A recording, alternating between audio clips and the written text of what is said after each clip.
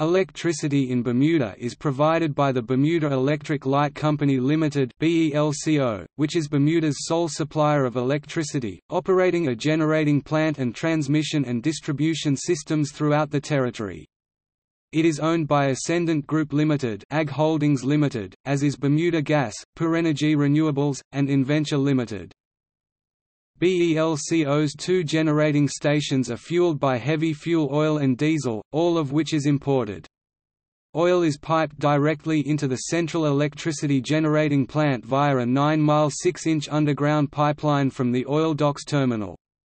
Solar and other renewable energy sources are not used in Bermuda. In 2009, BELCO used approximately 1 million barrels of fuel. The import duty on the oil is very high, and electricity rates are very high by world standards. BELCO's maximum generation capacity is 165 MW, produced by diesel engines and gas turbines. The highest peak demand was 122.8 MW, recorded in August 2010.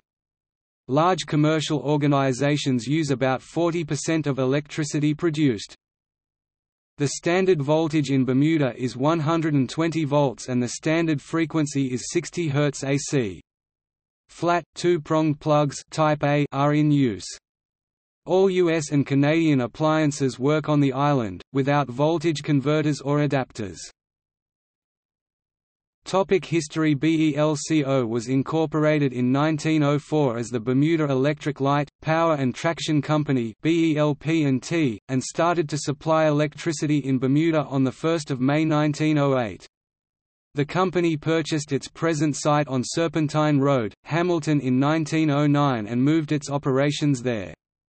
On May 5, 2005, BELCO completed the 20-year development of the East Power Station, officially bringing the last of eight new engines online. At the same time, the company began working on a new Integrated Resources Plan for the next 20 years, taking into account the island's development and emerging issues, including renewable energy and sustainable development and energy efficiency.